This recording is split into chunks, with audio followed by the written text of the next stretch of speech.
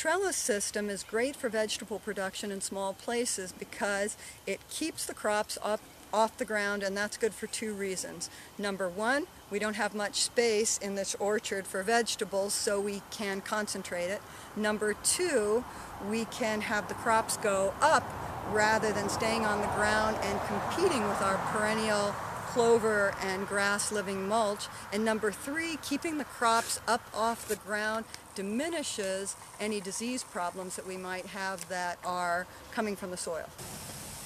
With this trellis system, we have far fewer culls and almost everything we pick is a number one quality.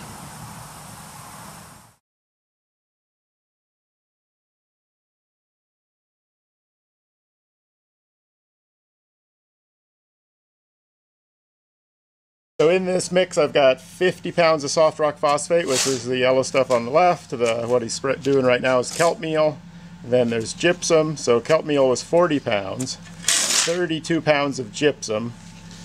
A pound of boron, so soluble got a pound. Five pounds of manganese sulfate. One pound of zinc sulfate and a half a pound of uh, copper sulfate.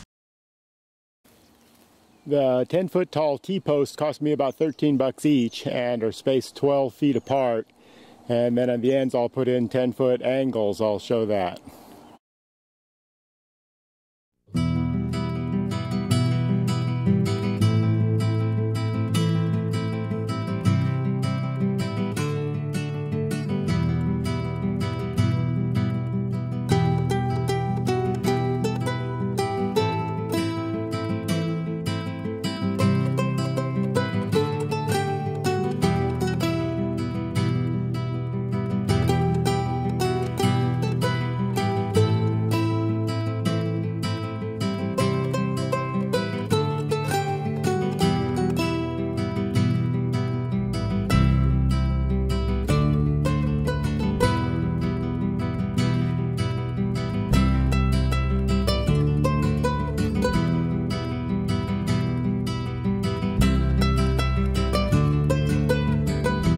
This is the newest vertical garden for 2014. I uh, took out some peach trees, 30 of them, got it ready um, last fall and planted New Zealand white clover, a perennial clover, uh, in October. Put these hay bales to, uh, to kind of mark where the trellises are going to go. And then now I'm going to move the hay bales, uh, mow the whole place, and then till just where the hay bales are is where the trellis is going to go.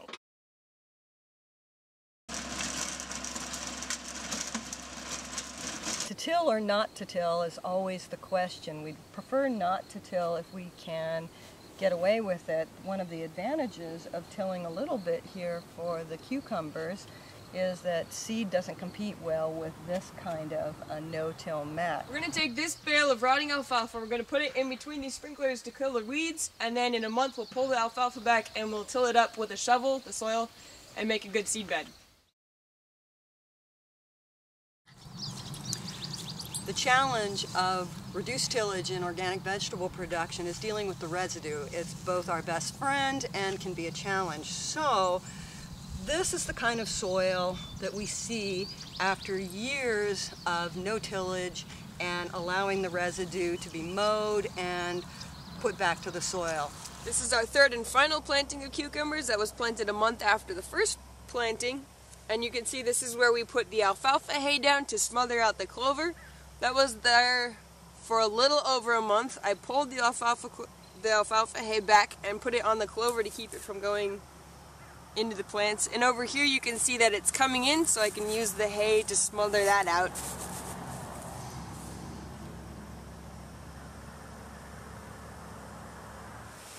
So this is our planting of cucumbers that we did six weeks ago. This is the first planting. As you can see, the clover is starting to encroach on the planting, but it's okay because the plants are already well established. This is our first cucumber coming on right now, and this is the next crop coming soon.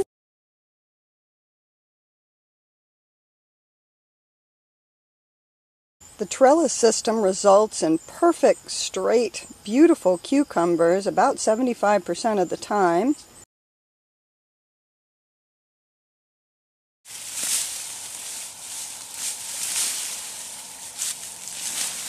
Aphids moving in in the late fall, but our resident ladybugs are still here, as are spiders and carabid beetles.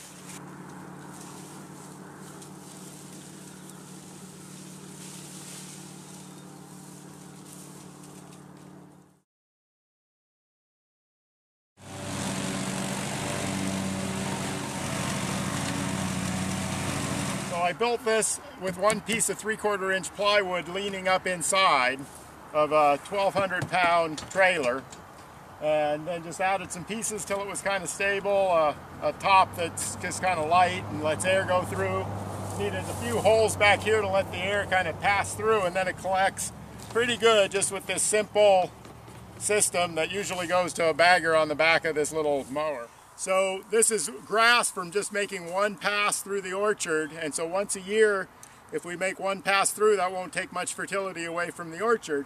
Use this instead of the alfalfa, um, baled alfalfa, to smother out the weeds and it works just as well and we get it right from the farm. 2015 and we're mowing the trellis garden to get ready for the new season. We'll have tomatoes and peppers here this year where there were cucumbers last year and lots of growth.